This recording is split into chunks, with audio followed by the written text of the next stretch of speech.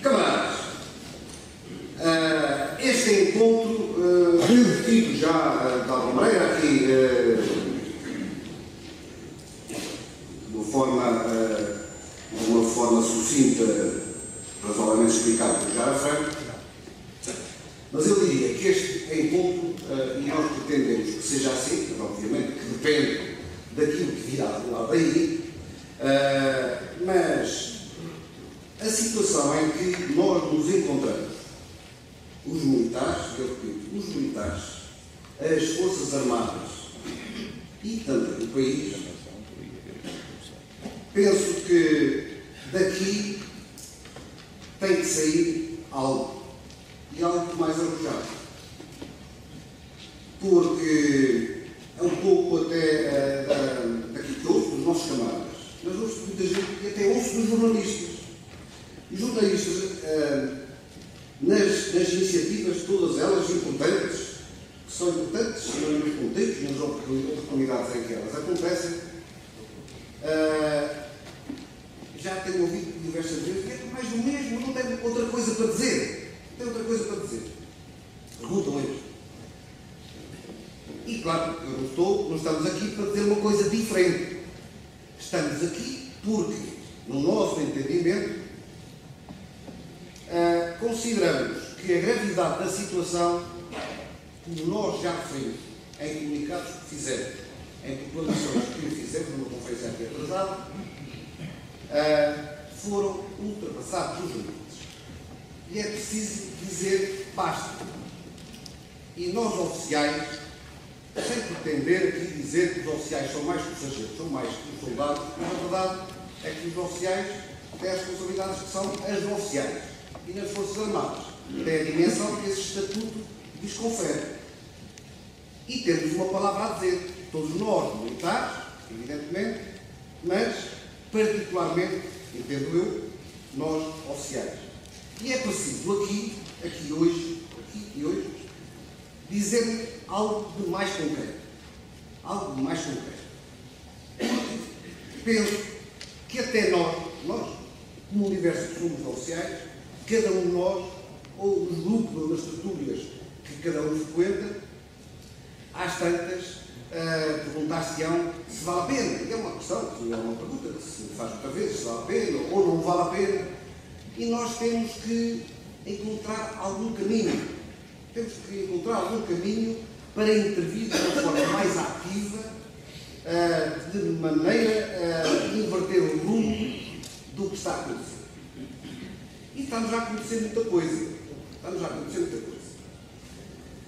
Até em termos quantitativos, eu vou enumerar só aquelas, aquelas questões que nos afetam de uma forma mais direta e mais assintosa. Depois há tudo o resto, há os IRS, há o, há, há o Justiça Federal, há uma infinidade trágica de situações que afetam uh, a nossa vida, a nossa, a nossa condição de vida e das nossas famílias. Mas, no que toca concretamente uh, às questões de âmbito socioprofissional, eu refiro até, uh, em termos quantitativos, o que aqui trago. O que aqui trago, já fui de alguma maneira aqui referido pelo Sr. Geraldo, de uma forma mais descritiva, vou, vou dizer promoções, remunerações barra pensões, progressões. As progressões aqui têm a ver com o congelamento e tratamento desigual em relação à administração pública. Estatuto dos Militares das Forças Armadas tratado em absoluto secretismo. Efetivo, redução do que isto significa e no contexto e da forma como estão a ser feitos, eh, como está a ser feita esta redução de efetivos. A reserva, regras alteradas e a suspensão da passagem à reserva. Suplemento de residência. Militares em regime de voluntariado e contrato Contrato esse que os militares fazem, como qualquer contrato é feito, os militares, os cidadãos que se disponibilizam para prestar serviço uh, são incorporados e depois deparam-se com uh, a completo desrespeito pelas regras e pelas condições que contrataram. ADN, penso que nem, nem vale a pena, não vale a pena, vai valer a pena, nós vamos conversar sobre, sobre estas questões com certeza, com certeza uh, todas elas vão vir à baila e devemos ter a oportunidade para discorrer sobre elas, porque se escolher cada uma delas, já às 7 horas eu não estaria aqui. Saúde hospitalar, uma vergonha, uma vergonha.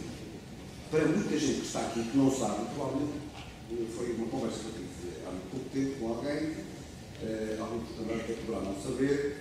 Uh, o Sr. Ministro da Defesa Nacional, revelia do parecer, do parecer, do parecer esse manifestado veementemente pela direção do Hospital das Forças Armadas atual, decidiu, decidiu fechar o Hospital Militar da Estrela.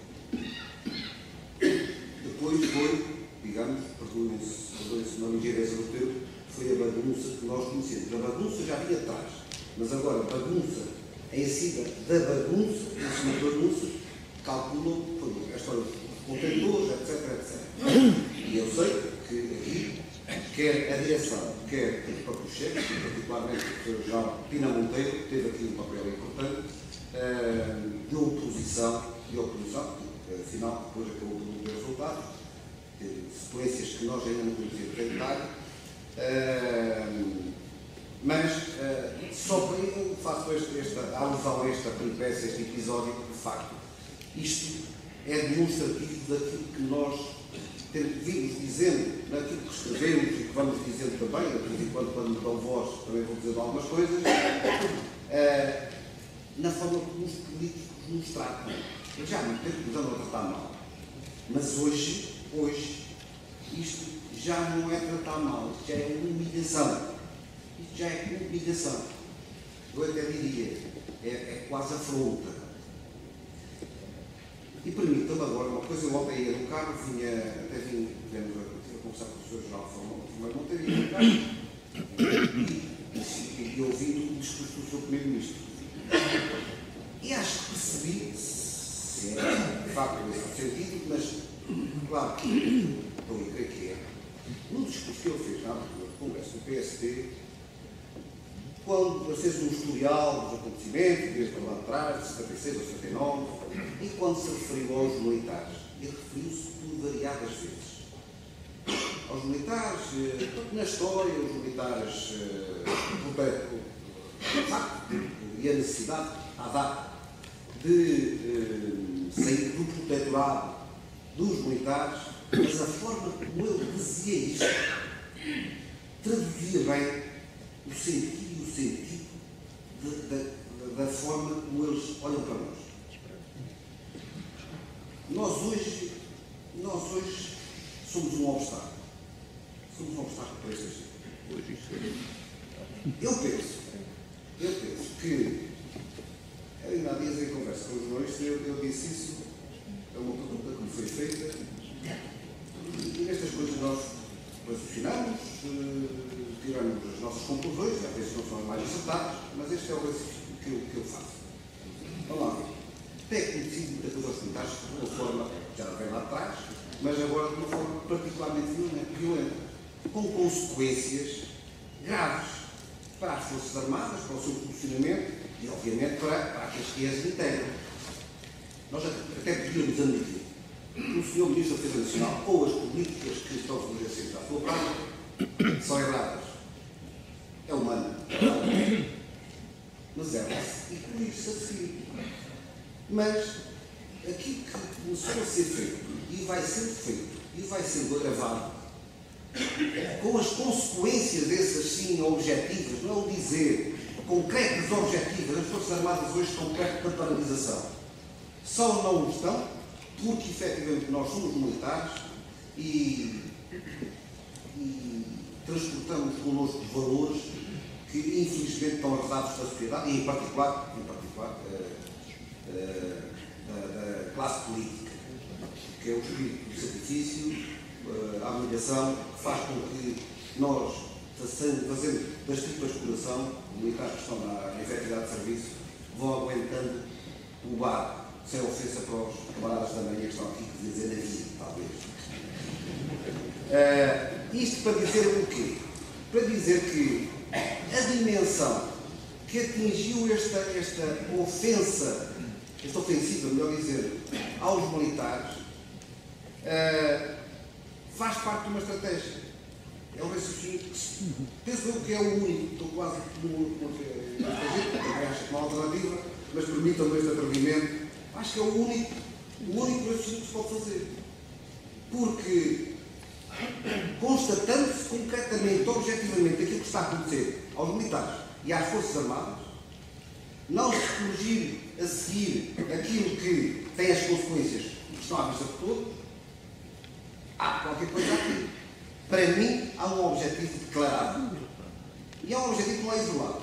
É um objetivo que, neste âmbito, neste contexto de desmantelamento do Estado ou das funções do Estado, é importante para esta gente também desmantelar uma das estruturas que é essencial à afirmação, à afirmação da independência, da soberania, como um Estado independente e soberano. Este é o objetivo. E estão a conseguir.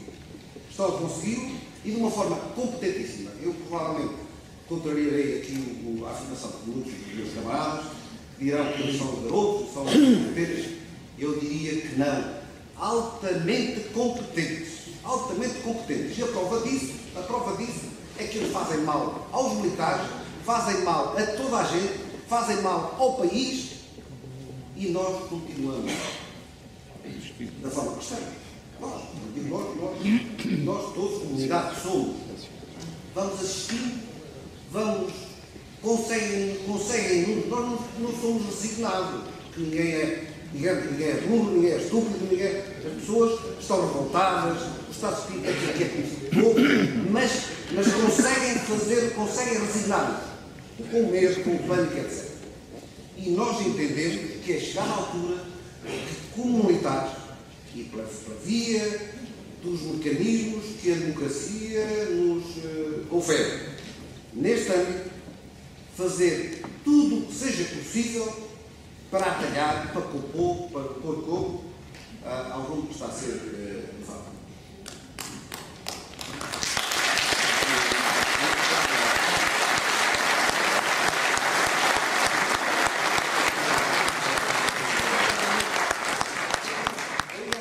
mas cheguei meio. Eu estava, estava na contabilidade, depois fiz esta, esta introdução e cheguei meio. Ia na saúde hospitalar, mas aqui rapidamente, e acho que gradação acentuada, sabem, dupla penalização com o cálculo da pensão da reforma.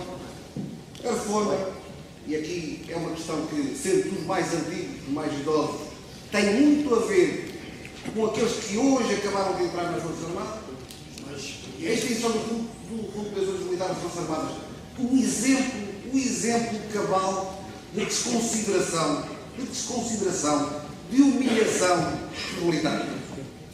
Ensino com a história do Instituto Odivelas, um capricho, um capricho do Sr. Ministro da Defesa Nacional, já demonstrava à saciedade que isto não passa de um capricho. E o Sr. Ministro vai conseguir. E a Força Armada, finalmente, já falei, que eh, como chapéu geral desta instituição que nós servimos, eh, ela também eh, para, os mais, para os mais antigos e que já estão mais ligados, talvez não, não conheçam, mas eh, passam por uma situação que, se, reflete um pouco daquilo que eu disse atrás. Pronto, tenho dito, porque já fui ali alertado que não posso ultrapassar muito. Muito obrigado.